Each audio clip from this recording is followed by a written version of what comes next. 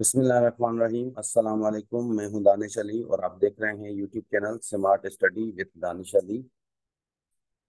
आज से हमने मॉक टेस्ट स्टार्ट है और ये सीरीज़ मॉक टेस्ट की जो है पूरा मंथ चलेगा, जिसमें जब तक ये एसएसटी के टेस्ट नहीं होते। तो पहला टेस्ट था इंग्लिश का और इंग्लिश में हमने वोकेबलरी को जो है वो टेस्ट निकाला था। तो इस टेस्ट को आज सॉल्व करते हैं। अच्छा ये जो हम टेस्ट ले रहे हैं, ये हम आज का जो टेस्ट था, ये हमने पाक की वेबसाइट से लिया था और आप लोगों को बताया था कि वहाँ से पढ़ना है, उसके बाद आप लोगों ने ये टेस्ट देना है।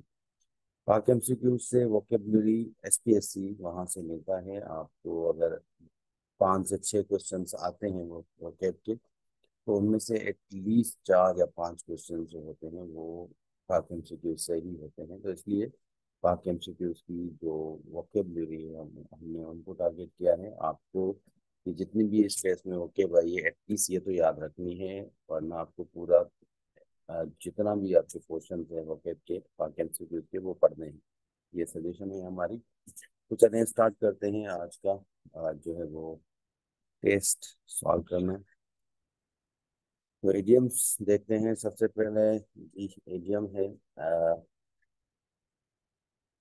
डोंकीज ईयर डोंकीज ईयर तो यहाँ पे देखिए ऑप्शन है very short period very long period both none तो यहाँ पे ऑप्शन सी और डी तो कैंसिल हो जाते हैं क्योंकि नन तो मोस्टली वोके में आपको नहीं आता ऑप्शन और बोथ हो नहीं सकता क्योंकि दो, दोनों जो ए और बी ऑप्शन है एक दूसरे के ऑपोजिट हैं.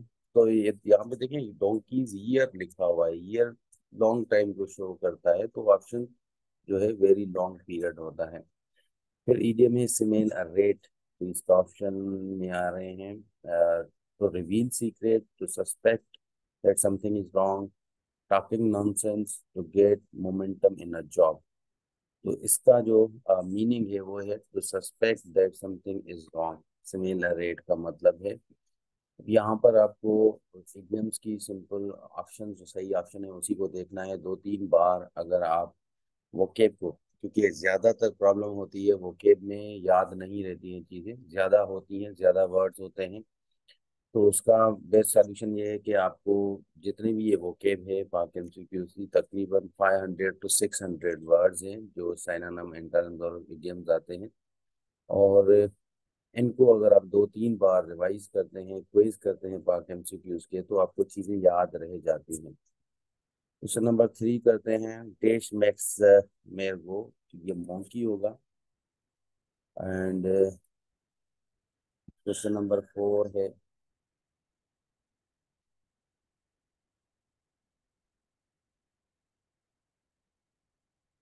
Kiran you should not call it a day call it a day इसका मतलब है स्टॉप वर्किंग ऑन समथिंग यहाँ पे टू बिगिन वर्किंग भी है टू डिले वर्किंग भी है टू रिफ्यूज वर्किंग भी है तो इसका ऑप्शन ए राइट होगा question number five fair field and no fair fair तो यहाँ पर फेयर फ़ील्ड से आप समझ सकते हैं कि इक्वल चांस फॉर एवरीवन से परफेक्शन है इंडिफरेंस इन ओपिनियन पॉपुलरिटी तो ये सेकंड और थर्ड और ऑप्शन तो नहीं हो सकते आप तो ऑप्शन ए जो है वो सही होगा बीट अराउंड द बुश इसका ऑप्शन सी सही होगा।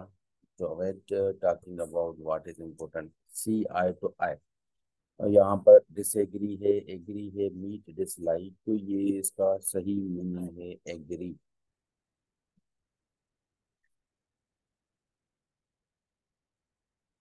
इडियम है अ बोल्ड फ्रॉम ब्लू और इसकी मीनिंग है अ बोल्ड फ्रॉम ब्लू की।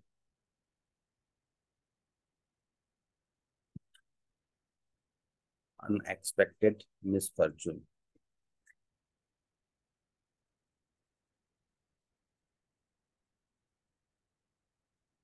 फिर है जी क्वेश्चन नंबर नाइन है गेट फ्रॉम द सेक इसकी मीनिंग है वाज डिसमिस्ड फ्रॉम तो यहाँ पे ऑप्शन डी जो है आ, ये सही होगा। इतने ये हमने जो है एडियम किए थे। फिर एंटोनिम्स आते हैं जिसमें रिकंडाइट है, इसका मीनिंग है मैनिफेस्ट अब रिकंडाइट का मतलब क्या होता है? जो चीज़ पेचीदा हो जो हिडन हो, और मैनिफेस्ट का होता है ज़ाहिर तो यहाँ पे इसका एंटोनम होगा मैनिफेस्ट सेकंड है गम्पशन गमशन जो है इसका मतलब है गपशप करना, और यहाँ पर एपैथी जो है ये सही होगा। इसका एंटोनिम है डोक्साइल या डोसाइल तो अनयील्डिंग है। और डोसाइल का मतलब जो होता है वो ओबीडेंट होता है और अनयील्डिंग जो है। ये आ, क्या कहते हैं कि अड़ियल टाइप जो होते हैं उसकी मीनिंग ये होती है। ऑप्शन डी सही होगा। क्वेश्चन नंबर थर्टीन है एंटोनिम ऑफ़ डेक्सटीरियस डेक्सटीरियस का है। आ, ये एक्सपर्ट को कहते हैं। आ, और इसका ऑप्शन ए सही होगा एन एक्सपर्ट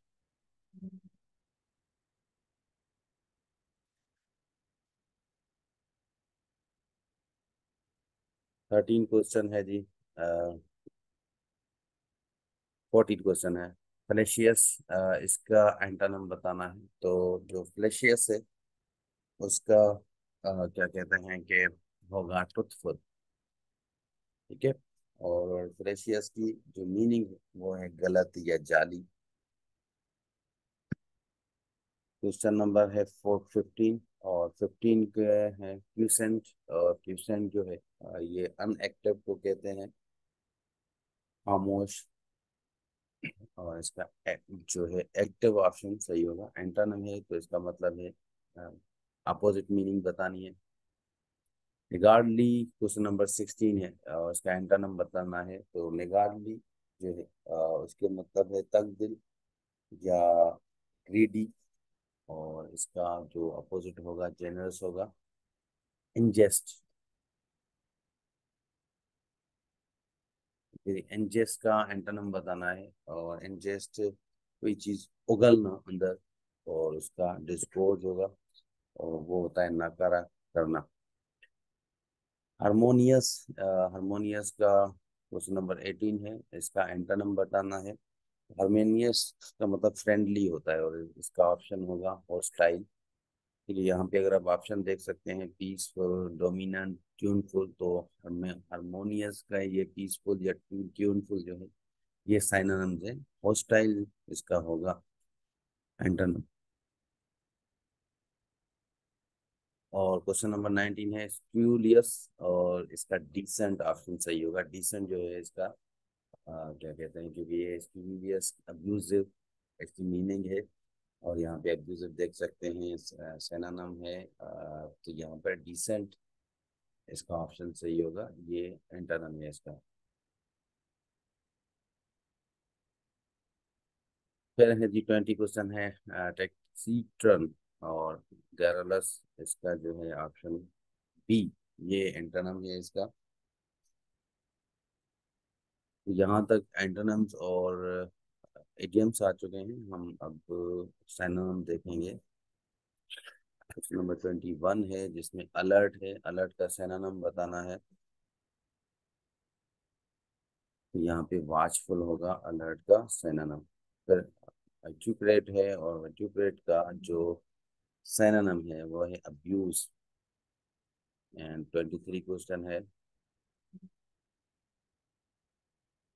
लिथर्जी और लिथर्जी का सैनानम बताना है तो सेरेनिटी इसका ऑप्शन ए सही होगा। Embezzle question number twenty four है, उसका सैनानम बताना है तो मिस अप्रोप्रिएट सही ऑप्शन है इसका।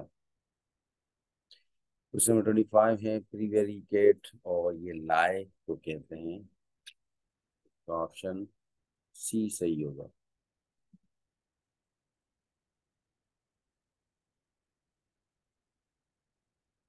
ट्वेंटी सिक्स है जिलोट जिलोट का फेनेटिक है। फेनेटिक इसका ऑप्शन सही है। ये सेनानम है जिलोट का है। का हेरोइज्म है।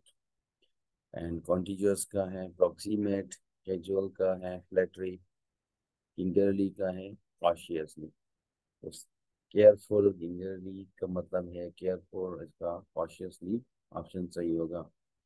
तो यहाँ पर हमारा टेस्ट जो है आज का कंप्लीट होता है और अगर आपने हमारा चैनल सब्सक्राइब नहीं किया तो कर लें। कल हम जो है जनरल कैटेगरी और साइंस कैटेगरी दोनों कैटेगरीज के लिए अलग अलग टेस्ट निकालेंगे और उसका जो है हम होगा मैथ जो है वो साइंस कैटेगरी वालों के लिए मैथ का निकालेंगे और पाकिस्तान स्टडी का जो है जनरल कैटेगरी वालों के लिए मॉक टेस्ट होगा। ये अलग अलग मॉक टेस्ट होंगे। ये दोनों पेड ग्रुप में होंगे। कल जो है पाकिस्तान स्टडी का जनरल ग्रुप के लिए होगा, मैथ का नेक्स्ट स्टेप पे होगा, फ्री वाले ग्रुप में। यहाँ तक था आपका, आप कोई सवाल हो तो पूछ सकते हैं, और ये वर्ड्स याद करने का तरीका सिंपल ये है, आप रटा ना लगाएँ, जस्ट वर्ड को देखें, मीनिंग नहीं भी आ रही, नो इशू क्योंकि वर्ड थोड़े बहुत हैं आपके पास पाक एम वेबसाइट देखें, क्विज करें, तीन से चार बार करते हैं, आप हर वीक में दो बार करें क्विज, पूरा सैनम इंटरनम्स और एडियम्स के तो आपके हो जाएँगे सही से। ठीक है जी तो यहाँ तक हमारा आज का टेस्ट कंप्लीट करते हैं और मिलते हैं नेक्स्ट वीडियो में। अल्लाह हाफिज़।